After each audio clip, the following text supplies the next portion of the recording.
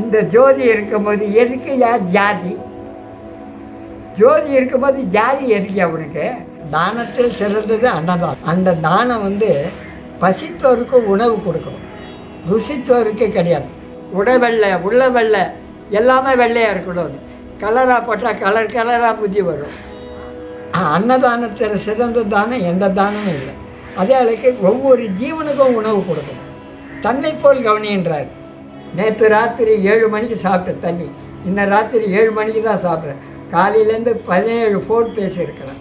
நிறைய பேர்கிட்ட பேசியிருக்கிறேன். கஞ்சி காசு இருக்கிறேன். பிள்ளைங்களுக்கு சாப்பாடு வச்சுருக்கிறேன். சராசரி மனிதனாக வேலை செய்கிறேன் யாரால? அது எவ்வளோ பாசத்தோட அந்த தன்னுடைய எஜமானுக்காக அது உயிரை விட்டுக்குது நம்ம பிள்ளை போய் படுக்குமா? ஒவ்வொரு ஜீவனும் ஒவ்வொரு இறைவன் இருக்கிறான். ட்ரை ஒரு லைஃப் டோன்ட் ஃபர்கெட்லாம்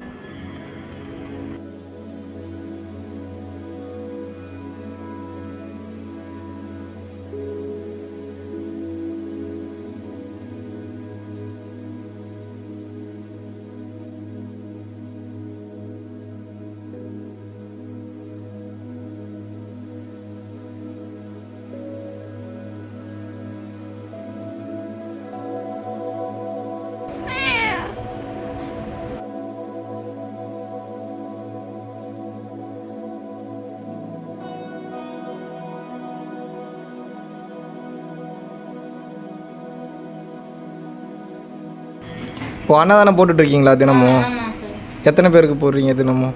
தினம் ஒரு எண்பது பேர் எழுபது பேர் தொண்ணூறு பேர். ஐயாவை பார்க்க வரவங்களுக்கு போவாங்க. சந்தோஷம். நன்றிம்மா.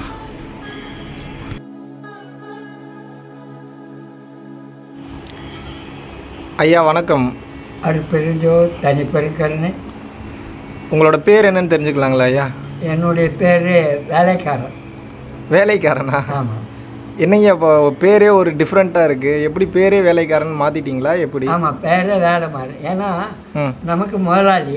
ம். அவர்கிட்ட நமக்கு வேலை செய்கிறோம் சரி. அதனால அந்த பேரை நான் படிப்பறிவு இல்லை சரி. ஏதோ இறைவனுடைய அறிவால் அந்த பேரை வச்சுக்கேன் எத்தனாவது வரைக்கும் படிச்சிருக்கீங்க? அஞ்சாவது வரைக்கும். அஞ்சாவது வரைக்கும் படிச்சீங்க. படிக்கும்போதே நல்ல அறிவான பிள்ளையா? கடவுள் பக்தியெல்லாம் இருந்ததா? இல்லை ஏதோ விளையாடுவோம். கடவுள் பற்றியெல்லாம் ரொம்ப இல்லாத சரிங்க. இதுக்கு முன்னாடி என்ன வேலை பார்த்துட்டு இருந்தீங்கய்யா? நம்ம வந்து எல்லா தொழிலும் கற்றுருந்தேன் சரி. கடைசியில் நாட்டு மருந்து கடையில் உட்காந்து வியாபாரம் பண்ணேன். ஓ கடைசி பரம்பரை வியாபாரம் நாட்டு மருந்து. சரிங்க. வள்ளல் பெருமானால எப்படிங்க ஈர்க்கப்பட்டீங்க? அதை தெரிஞ்சுக்கலாமா? அதாவது கந்தக்கோட்டத்துக்கு போவோம். சரி.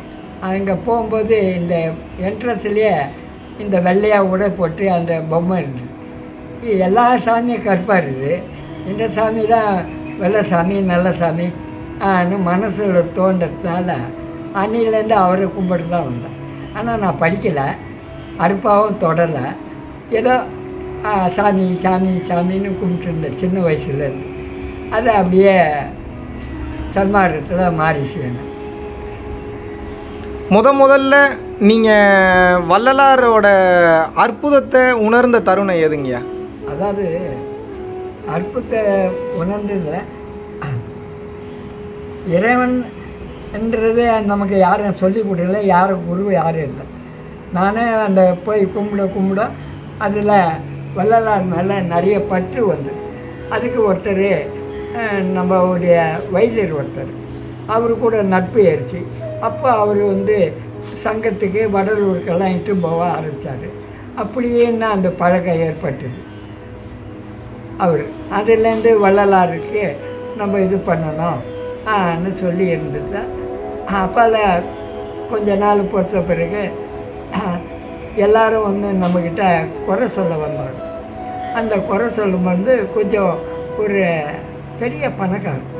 அந்த மாதிரி பெரிய பணக்காரர் சில தவறு செஞ்சிட்டேன்னு எங்கிட்ட வந்து சொன்னாங்க. ஆனா, அதனால எப்பவும் வந்து எங்கிட்ட காலையில் வந்து அழுவாங்க. நான் செஞ்ச தப்புக்கு எதனா சொல்லுங்க நான்? சொன்னேன் நீ தப்பு உணர்ந்துட்ட. இறைவன் உன்னை காப்பாற்றுவான் அதனால நீ கவலைப்படாத. தெரியாத செஞ்ச தப்பு தானே? நான் அந்த அம்மாவுக்கு சொல்லி வந்திருந்தேன். அப்போ வரும்பொழுது அந்த அம்மாவுக்கு சரிம்மா நாளைக்கு வாமான்னேன் கசியில் பார்த்தா அன்றைக்கி வியாழக்கிழமை தீர்த்தை கொடுக்குற நான். எல்லாரும் கேட்டேன் என்ன ஏன் குருவாரை பார்த்து வச்சியான்னு எந்த நாளில் பார்க்கல. அந்த அம்மா கஷ்டத்தை உணர்ந்து தான் கொடுத்தேன். அந்த கஷ்டத்தை கொடுக்கும்போது அந்த அம்மா வாங்கி அந்த அம்மாவுக்கு சில இதெல்லாம் சொன்னேன். குறைபாடெல்லாம்.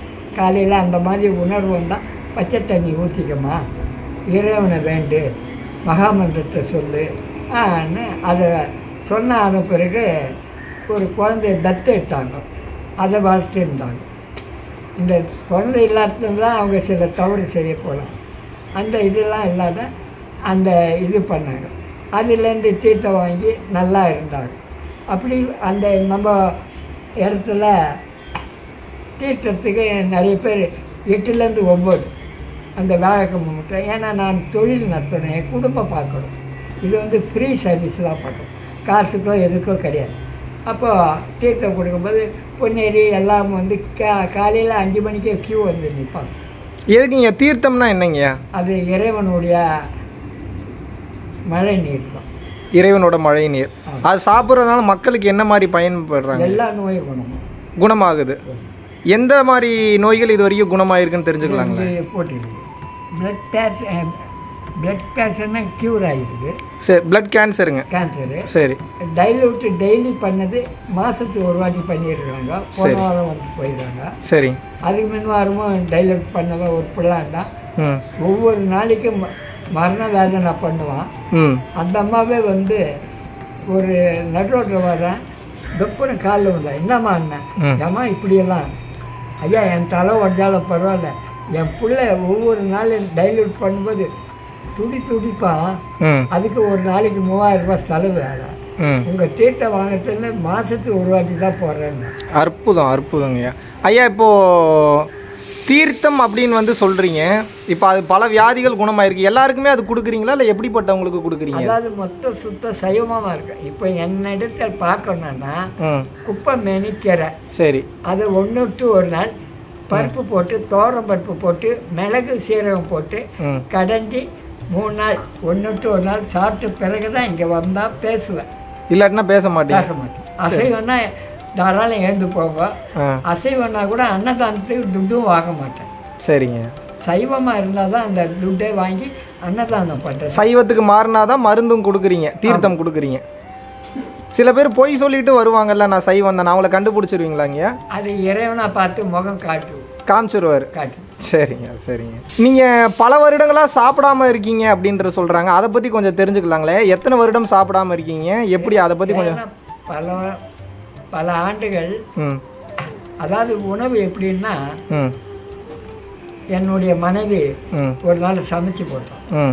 சமைச்சு போடும்போது எதுவுமே உப்பு போடல ம். அதை நான் சாப்பிட்டுட்டேன். என்னையா அண்ணா? என்னம்மா நல்லா தான் இருந்தது ராஜா? ஆ இல்லையா உப்பே போடலையா? அப்படியா?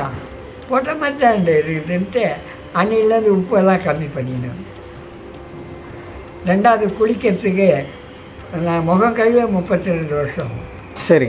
பீச்சிலேருந்து வாக்கிங் வந்தோடனே எப்போவுமே ஷவர் பாத்தில் அரை ஹவர் உட்காருவேன் உட்காந்து பூ மாதிரி மழை பெஞ்சுன்னா அந்த மூளைக்கு வேலை செய்யுன்றதுனால உட்காந்து குளிப்பேன். அன்னைக்கு வரும்பொழுது ஷவர் திறந்து பார்த்தேன். சோப்பு கை விட்டா சோப்பு இல்லை. உடனே வெளியில் வந்தேன் என் மனைவி ஐயா குழந்தைகளாம் சாப்பாடு பண்ணையா? சோப்பு வைக்கிறது மறந்துட்டேன். இதோ இருக்குதுண்ணே இல்லைம்மா பரவாயில்ல அதனால என்ன? ஆ குளிச்சா என்ன ஆக போகுதுன்ட்டு அன்னையிலேருந்து குடிக்கல இன்ன வரைக்கும் முப்பத்தி ரெண்டு வருஷம் முகம் கழுவி. முப்பத்தி ரெண்டு வருஷங்களா ஆமாம் சாப்பிடாம இருக்கிறது எத்தனை வருஷங்க பல ஆண்டுகள். பல ஆண்டுகள். பல சரிங்க. நீங்கள் இப்போ சாப்பிடாம இருக்கீங்களே இது உங்களுக்கு டயர்டாக இல்லைங்களா? இப்போ காலையிலேருந்து பேசணும் என்னென்ன பேசிக்கிட்டு தான் இருக்கீங்க. டயர்டெல்லாம் இல்லை உங்களுக்கு? முகம் எவ்வளோ ஷைனிங் இருக்குது சரி. இந்த கட்டையை கழுவி ம். ஆனால் அழுக்கே தெரியலைங்களேங்க ம். முருகப்பெருமான் உங்களுக்கு காட்சி கொடுத்ததா சொன்னீங்க? அதாவது எங்கள் அப்பா வந்து எங்கள் தாத்தாலாம் பரணி அபிஷேகமாக திருப்பூர் பண்ணுவாங்க. சிதம்பர சாமிக்கு கிருத்திகை அபிஷேகம் பண்ணுவாங்க. அந்த காலத்தில் முந்நூற்றி ஐம்பது வருஷத்துக்கு முன்ன.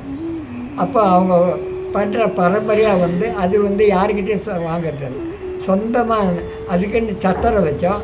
அந்த சத்திரத்தை வாடகை வச்சு தான் அந்த அபிஷேகம்லாம் பண்ணிடணும் அந்த இடத்துல பண்ணும்போது தான் இந்த அந்த வேலை செய்கிற பிள்ளான்னா அன்றைக்கி ஸ்ட்ரைக்கு சம்பளம் கிடைக்கல. அப்போ எங்களுக்கு பரணி அபிஷேகம். அந்த அபிஷேகத்துலேருந்து வரும்போது நைனா நீ இந்த பால் அபிஷேகம் பண்ணிடுறா மற்றதெல்லாம் பஞ்சாபர்லாம் சிதம்பர சாமி மரத்தில் எடுத்து போய் பண்ணிக்கிறேன். ஆன்னு சொன்ன உடனே அவன் அதாவது அந்த இடத்துல இருக்கிறவன் அந்த ஸ்தானத்தில் இருக்கிறவன் அந்த வாயில் அந்த மாதிரி வார்த்தை வரக்கூடாது. அந்த மாதிரி செந்தமிழான வார்த்தையை என்னை திட்டிருக்கோம் அப்போ நான் அப்போ கூட நான் ஏன்னா இந்த உடையை போட்டிருக்கோம் வேறு இந்த உடையில தான் அவனை வேறு வேலை பேசலாம் கொள்ளலாம் அப்போ கூட நான் அவன் திட்டினானே நான் திருப்பி திட்டலை. எங்கள் ஐயா கிட்ட விண்ணப்பம் ஐயா இவனுக்கு இந்த வார்த்தை பேசுகிறான் இந்த உடைக்கு மரியாதை இல்லாத பேசுகிறான் நீ தான் அவனுக்கு அறிவு கொடுக்கணும்னு இறைவன்கிட்ட தான் தாண்டினான் ஐ- ஐயான்னு நீங்கள் சொல்கிறது வள்ளல் பெருமானை தான் சொல்கிறீங்க ஆமாம் அவர்கிட்ட பேசுகிறேன் பேசிட்டு நான் ராத்திரி போய் படுத்தேன். படுத்து இப்படி திரும்பி பார்த்தா முருகப்பெருமான் நேரடியாக காட்சி கிடைக்கும் முருகப்பெருமான் எப்படி இருந்தாருங்க நல்ல அழகான முகம். முடி நல்ல இந்த முடி. முகம் பார்த்தா அவ்வளோ கலையாக இருந்துச்சு. சரிங்க. அதில் அவர் என்ன சொன்னார்? நீ எங்கேயும் போய் தேடாதடா. உன்னை நான் தேடி வரேன்னாரு. அதனால தான் இன்ன வரைக்கும் ஏழு வருஷம் ஆச்சு கோயில் உள்ளே போய் அந்த இடத்துல போனேன். ஐயா தான் சொல்லிட்ட பிறகு நம்ம அந்த இடத்துல போகலாமா முதலாளியே நமக்கு அந்த காட்சி கொடுத்து நமக்கு சொன்னார். அதனால் அந்த இடத்த ஒரு நினைவு இதுவான ஒரு கோயில் கட்டணும். அது அன்பு உள்ளங்கள் யாருன்னா கொடுத்தாங்கன்னா அவங்க பேர் ஒன்றா கூட போட்டுக்கலாம். இல்லை அவங்களே கட்டி கொடுக்குறதா இருந்தாலும் என்னுடைய இடம்லாம் கொடுக்குறேன். கோவில் கட்டுறது உங்களோட நோக்கம்ன்றது மக்கள் வந்து அதன் மூலியமா வரக்கூடிய வருமானத்தை வச்சு அன்னதானம் பண்ணணும்னு நினைக்கிறீங்க. அதற்காக தான் அந்த கோவில் பிளான் பண்றீங்க. ஆனா நான் வள்ளலார் ஐயா என்ன சொல்றாருன்னா கோவில் எதுவும் அவசியம் இல்லை தனக்குள் இருக்கிற இறைவனை பார் அப்படின்னு தான் சொல்றாரு. அதனால தான் ம். அந்த வந்து ஒரு அவர் காட்சி கண்ட இடத்துல தான் நான் வந்து சிலை வைக்கல. சரி. சிலை எதுவும் வைக்கல. ம். அவர் கண்ட காட்சியை கண்ணாடியில் காமிச்ச மாதிரி அந்த இடத்த காட்சியாக தான் காட்டுறேன் புரியுது. சிலையை உருவ வழிபாடு இல்லைன்னு சொல்லிட்டு விடுற என் முதலாளி நான் எப்படி வேலைக்காரன் அதை செய்வேன்? அதே தான் இல்லை மக்கள் இந்த கேள்வி கேட்பாங்க. அதுக்காக தான் ஒரு கிளாரிட்டிக்காக கேட்டுக்கிட்டேன் ம். இன்ன வரைக்கும் நான் இப்போ எல்லாருமே ஐயா என்ன சொன்னார்? தன்னை வணங்காதேன்னா ம். இப்போ நூற்றி நாற்பது வருஷமா அவர் சொன்ன கருத்தை யார் கடைப்பிடிக்கிறாங்க? பொம்மையை வச்சுக்கிறாங்க கற்பூரம் போடுறாங்க பட்டையை காட்டுறாங்க. அவர் உயிரோடு உலாதி கொண்டு வர மகான். அவருக்கு பொம்மையும் ப பட்டையெல்லாம் போட சொன்னார். அவர் மதம் என்னும் பேய்பிடியாமல் இருக்க வேண்டும் மறுப்பெண் ஆசை மறக்க வேண்டும் உன்னை மறவாத இருக்க வேண்டும். பாடின பாட்டு. இவங்க தப்பான விதத்தில் அந்த பொம்மையும் போட்டோவும் போட்டு கேவலப்படுத்துகிறாரு நூற்றி நாற்பது வருஷமா எவ்வளோ புத்தகத்தை படித்தவங்கெல்லாம் இந்த தவறு தான் செஞ்சு வந்திருக்காங்க. நான் படிக்காத முண்டம். ஐயாவுடைய பாசத்தால் இன்னைக்கு கூட இந்த புத்தகத்தை பொம்மை போட்டதெல்லாம் மறைச்சி ஜோதி மட்டும்தான் ஜோதியை வணங்க. அற்புதங்க. இன்னொரு ஒரு கேள்விங்க. இப்போ தண்ணீர் குடிக்க தண்ணீர் எவ்வளோ நாளைக்கு ஒரு ஒன்ஸுங்கய்யா குடிக்கிறீங்க? தண்ணி வந்து நான் முப்பத்தி ரெண்டு வருஷமாக குடிச்சிட்டு வரேன் சரிங்க ஒன்லி தண்ணி மட்டும்தான் தாகம் எடுக்கும்போது. கரிசால தூதுவலை முசு முசு வல்லார புளியாறு சரி. இன்ன வரைக்கும் அதை தான் குடிச்சிருந்தாங்க சரி. மூணுலேருந்து ரெண்டு ஆக்கி ரெண்டுலேருந்து ஒன்று ஆக்கி இப்போ ஒன்றுக்கு வந்து இருக்கிறேன். அதாவது உண்பதெல்லாம் பலமேன்னு சொன்ன பாட்டுக்கு எடுத்துக்காட்டாக திகழ்றீங்க. வேலைக்காரன் ஆசைப்படுறேன். அற்புதம் அற்புதங்கய்யா. இது உங்களை பார்க்க வர்றவங்களுக்கு நீங்கள் சொல்லக்கூடிய விஷயங்கள் என்ன மாதிரி விஷயங்கள் ஐயா சொல்கிறீங்க உபதேசம் பண்ணுறீங்க முதல்ல சைவமாக மாறணும் சரி. முதல்ல இறைவன் உங்கள் உடம்புலே இருக்கணும். காசி போனால் கரமை தீராது. கல்லை போய் கும்பிடாதீங்க. நட்ட கல் பேசுமோ நாதன் உள்ளே இருக்கும். பஞ்சபூதம் உங்கள் உடம்புல இருக்குது. அந்த பூதம் வெளியில் காட்சி கிடைக்கணும்னா அந்த ஜோதியை பாரு. ஜோதி பார்த்தீங்கன்னா அந்த பூதமானது அந்த வெளிச்சத்தில் உங்களுக்கு காட்சி கிடைக்கும். அந்த காட்சியை நீங்கள் கண்டீங்கனாவே எந்த ஒரு கஷ்டம் வராது எந்த நோய் வராது. இன்றைக்கி குரானான்றோம். உலகத்தில் எந்த மதமும் எந்த இனமும் பார்க்காத குரானாக இருக்குது. அப்போ நம்ம ஐயா என்ன சொன்னார்? இந்த ஜீவகாரணத்தை கடைப்பிடிங்க உங்கள் வாழ்க்கை நல்லா இருக்கும். ஒவ்வொரு ஜீவனும் ஒவ்வொரு இறையும் இருக்கணும். அந்த இறைவன். இப்போ முருகன் நீங்கள் போய் கும்பிட்றீங்க. அவருடைய கோழி சின்னம். சிக்கன் சிக்ஸ்டி ஃபைவ் சாப்பிட்டு முருகான்னு வேணால் முருகா தான் கையில் கிடைக்கும். அருளாக கிடைக்கும். கிடைக்காது. அதனால அந்த இடத்துல நீங்கள் மாறுங்க. வேறு எதுவும் சாய்ஞ்சி நாங்கள் சொல்லலை. இறைவன் நீங்கள் அடையணும்னா உங்கள் வீடை கோயிலாக்குங்க. உட்கார்ந்த இடத்துல இறைவன் உங்களுக்கு காட்சி கிடைக்கும். நிச்சயமா கிடைப்பாருங்களா? ஐயா நம்ம நமக்குள்ளேயே இறைவனை தேடுறப்ப பார்க்க முடியுமா? வாய்ப்பு இருக்கா? ஹண்ட்ரட் பர்சன்ட் நான் கேரண்டி தரேன். அது எப்படி பார்க்கறதுன்னு ஏதாவது வழிமுறை இருக்குங்களா ஐயா? அதாவது மனதை ஒருநிலைப்படுத்தி. இறைவனை பேசுறதுக்கு அந்த இடத்துல இறைவனை நினச்சா உங்களுக்கு அருள் கிடைக்கும் பொருளும் கிடைக்கும். இன்றைக்கி சபை நானே நடத்துகிறேன்றார் நான் நடத்தலை. ஐயா தான் நடத்துகிறேன் அதனால் இந்த சபை இதுக்கு வந்து அன்பளிப்பு. பெரிய பணக்காரர் பெரிய ஆள் இல்லை. இது மீன்பாடி ரிக்ஷா ஓட்டுறவன். அவன் மாதம் பத்து மூட்டை அரிசி அனுப்புகிறோம் இந்த பில்டிங் அவனை தான் கட்டி விட்டோம். என்கிட்ட எவ்வளோ பெரிய பணக்காரர்கள் இருக்கான் பாரு. ஒரு மீன்பாடி அவனுக்கு ஒரு பொண்ணுக்கு ஒரு பையன் நான் தான் தலைமையில் கல்யாணம் பண்ணேன். சன்மார்க்க முறைப்படி. இன்ன வரைக்கும் நல்லா இருக்கு. அப்புறம் அப்பப்போ வெளியில போய் உட்காந்து சூரியனை பார்த்து ஏதோ வாய் திறந்து ஏதோ பண்றீங்களா என்ன பண்றீங்க தெரிஞ்சு சாப்பாடு கேட்குறேன் பிச்சை கேட்குறேன் அது என்ன பண்றீங்க ஆ, முழுசா சொல்லனாலும் பரவாயில்ல அது என்ன மாதிரியான ஒரு பழக்கம்? எல்லாரும் பண்ணக்கூடாது. பண்ணக்கூடாது. அது பண்ணான்னா கண்ணு போயிடும். ஓ. அதனால என்னை பார்த்து பண்ணக்கூடாதுன்னு தான் இப்போ அதை நான் ரொம்ப வெளிச்சமாக காட்டுறது. காட்டுறது இல்ல சில பேர் பண்ணி கண்ணு பூசி. அப்படிங்களா? ஆமாம் அது ஒரு அமைப்பு இருந்தால் தான் அது கிடைக்கும். அதாவது சூரிய பகவான் கிட்ட இருந்து ஆற்றலை கிரகிக்கிறீங்க. ஆமாம் சரிங்க.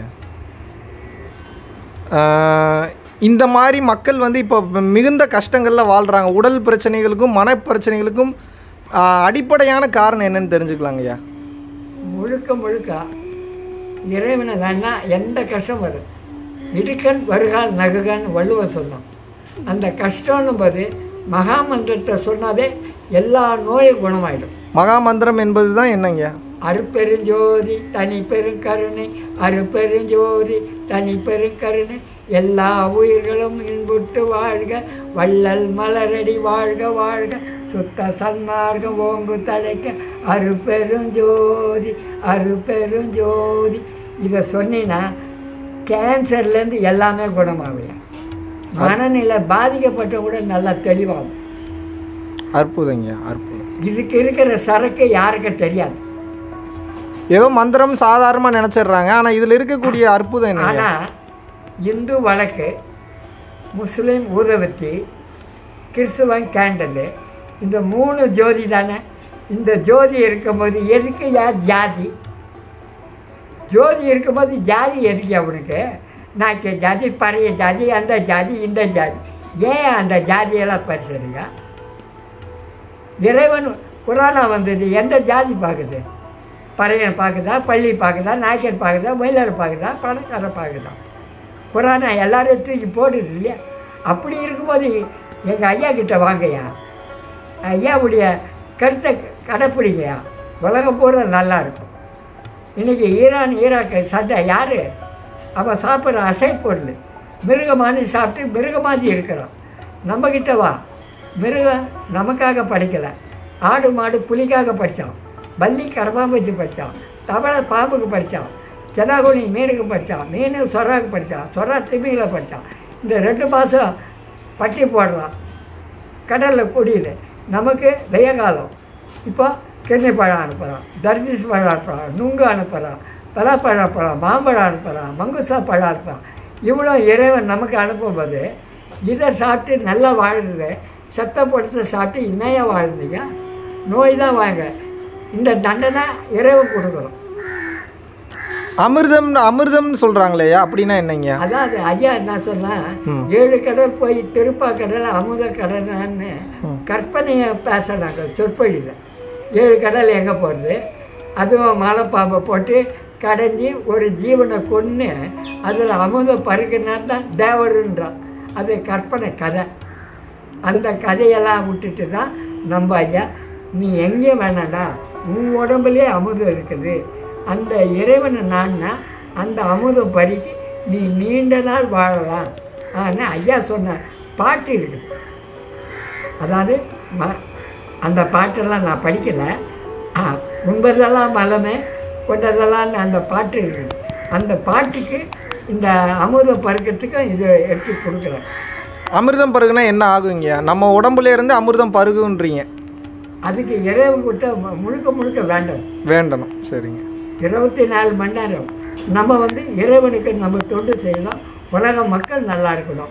அவங்கெல்லாம் தன் குடும்பம் தன் பொண்டாட்டி தன்னுடைய க புருஷன் தான் அவங்க பார்ப்பாங்க. நாம் வந்து பொது உடைமை வந்ததுனால உலகம் எல்லாரும் ஏற்றத்தாழ்வு எந்த மதமும் எல்லா இனமும் ஒன்று தான் அன்னதானத்தின் சிறப்பை பற்றி கொஞ்சம் சொல்லுங்கய்யா.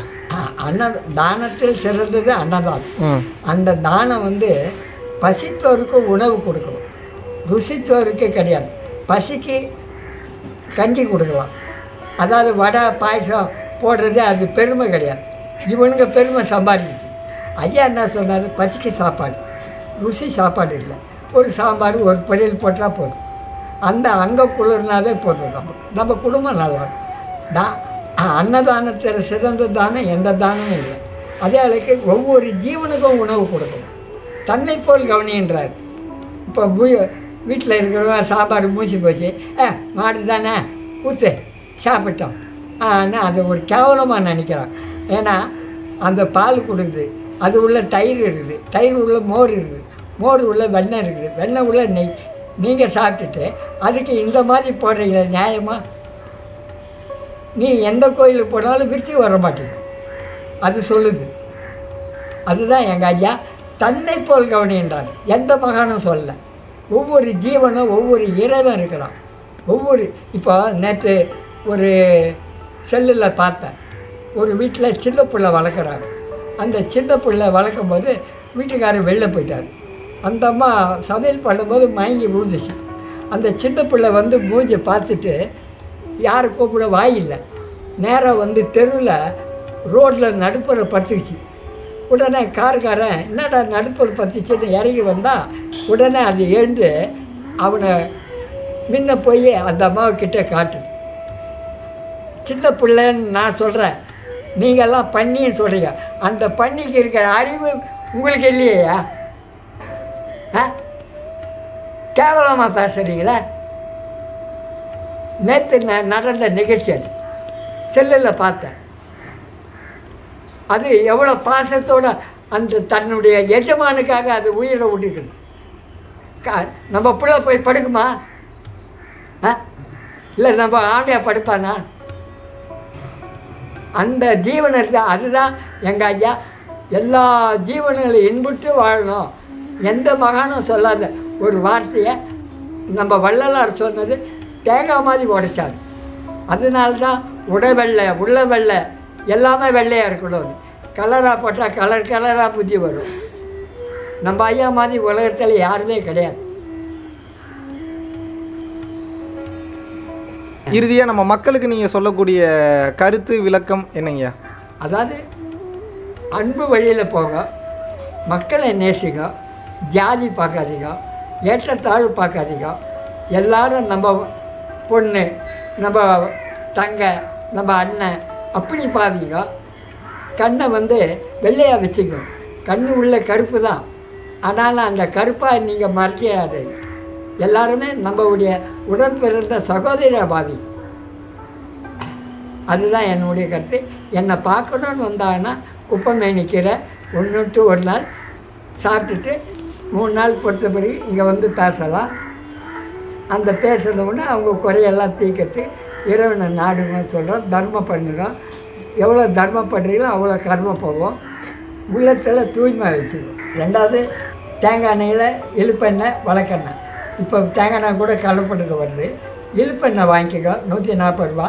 அதில் வழக்கை ஏற்றி உட்காந்து அகல் படிங்க. அந்த வழக்கு பக்கத்தில் எந்த படமும் வைக்காதீங்க. ஐயா படமே வைக்காதீங்க.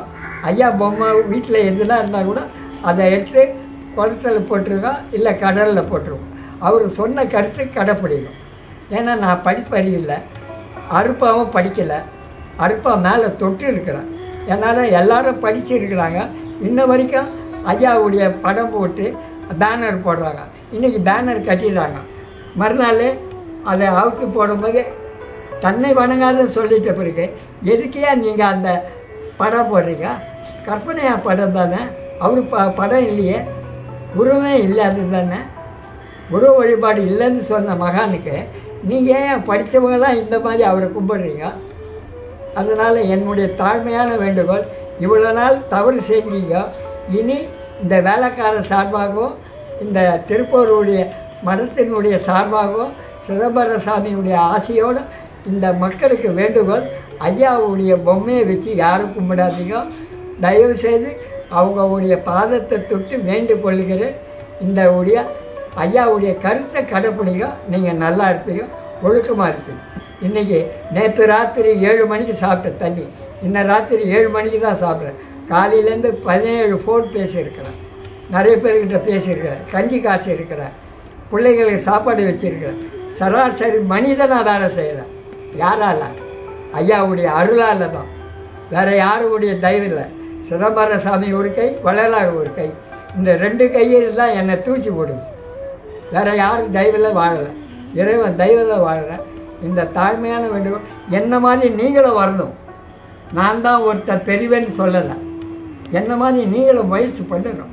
ட்ரை ஒரு லைஃப் டோன்ட் ஃபர்கெட்லாம் அற்புதங்க மிக அருமை மிக அருமை. அருட்பெருஞ்சோதி தனிப்பெருங்கருணை. ரொம்ப நன்றிங்க